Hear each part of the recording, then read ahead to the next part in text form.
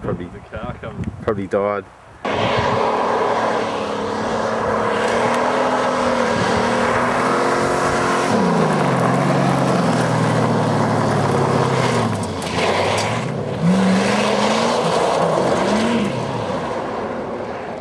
He lost it.